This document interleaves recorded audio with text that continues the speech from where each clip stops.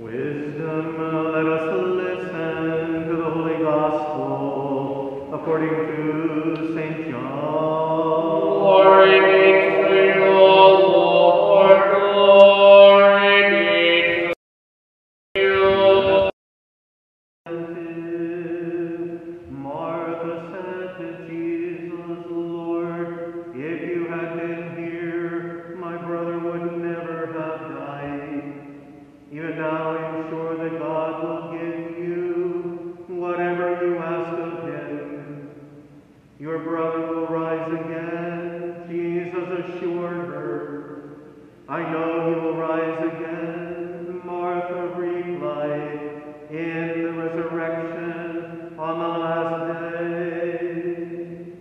Jesus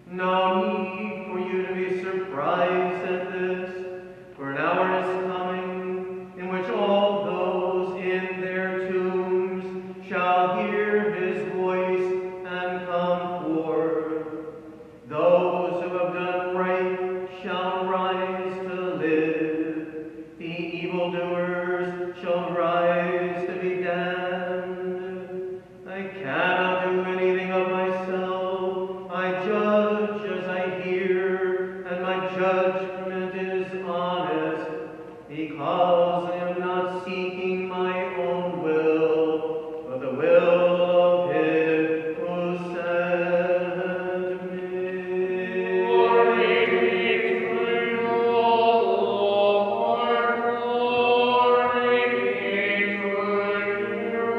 Good morning, everyone. Please be seated. In the name of the Father, and the Son, and the Holy Spirit. Amen. Uh, Begin uh, by offering my sincere and my heartfelt sympathies uh, to Stephen's family, to his children, grandchildren, great-grandchildren, to his siblings who are here, uh, and those that couldn't be with us uh, because of age or distance or the current uh, virus situation, as well as uh, friends of the family, friends of Stephen, uh, who have gathered with us to pray for the repose of his soul. And as uh, I was having services at the funeral home this morning, and I, I was gazing at, at each of you and gazing down at Stephen in the casket, I, I couldn't help but think about uh, a homecoming, a homecoming. Stephen, in a sense, has come home, not just to Mount Carmel, not just to this particular church, or to his resting place in Centralia. Stephen has come home at the command of our Lord and Savior, Jesus Christ. He's welcomed him into that kingdom, to that banquet that was prepared for him from the baptism, when he was made an heir to the kingdom of God. When he was no longer a slave, guest, but a son of God himself. And every homecoming is a celebration. And while our hearts may be filled with sadness, losing someone we love, we also, as Christians, allow our souls to inform us. We allow our faith to inform us that this indeed is a joyful day, a day of homecoming, a day which was planned from the very beginning of time for Stephen to be in the presence of our Creator God and our Savior, Jesus Christ. Likewise, Stephen is joining with all those, the family members, friends, his wife Millie, and all those who he knew during his lifetime who went before him, who are welcoming him to that banquet in God's kingdom. And our Lord is great in the way he, did, he describes the kingdom of God. He describes it as a celebration, as a banquet, as a feast, something that we all can relate to and can find joy in. And that's the message that I would like you to carry in your hearts today and tomorrow, and as the weeks and the months go by, and you come to terms with the loss of the person whom you loved. That indeed he is now enjoying the benefits of the mercy of God and the love of God. And he is going to be waiting for the day in which each one of us join him at that banquet, at that feast, at that celebration. This is what our faith teaches us. As humans, we see death. As humans, we experience sadness. As humans, uh, we feel loss. But as Christians, as people of faith, we see things through the eyes of God, or we strive to at least, and see not death, but life, not loss, but gain, and not hopelessness, but joy and life in its fullest as God created us to be at the very beginning of time, in his image and in his likeness. It's also homecoming, in a sense, for each of you as you return from all over the United States uh, to Mount Carmel, to the place where your mom and dad, where your uh, family uh, provided a home, a place of refuge, a place of peace, a place of comfort, a place where there was confidence uh, instilled in you, where the lessons of life were instilled in you uh, by Steve and by Millie, so that uh, you would experience uh, a, a special place, a nest where you would feel protected and loved and cared for. And even though you have gone your separate ways and you're spread across the country, this parish, this community, this community of faith and prayer still a place of refuge for you. It is still a place you can call home and find comfort and safety and love among all of our congregation. Uh, today, I, I, I, leave you with the promise, with the words of Jesus. I am the resurrection and the life. Whoever believes in me, though he should die, will come to life. And whoever is alive and believes in me will never die. Stephen was a man of faith. Stephen was faithful not just to the Lord, but to this community, this parish, this congregation. And for as long as he was physically able, he was an active participant in our prayer life. He believed in the words of Jesus Christ, that he is the resurrection and the life. And for that belief, for that faith, we believe and we trust that Jesus has taken him by the hand and brought him into his bosom to embrace him uh, as, one who has been saved and to bring him to life everlasting. But Jesus, in the gospel that we heard entering the church, says to Martha, as she experiences the loss of her brother, Do you believe this? He says the same thing to you and me. Do you believe? Do you believe that he is the resurrection and the life? Martha was able to say, Yes, Lord, I believe. And her sadness was turned to joy as uh, Lazarus, her brother, was called from the tomb. Our sadness will be turned to joy as well when we understand that Stephen is called from the tomb to be with the Lord for all eternity. May Almighty God bless us. In the name of the Father, and of the Son, and of the Holy Spirit. Amen. Let us all say with our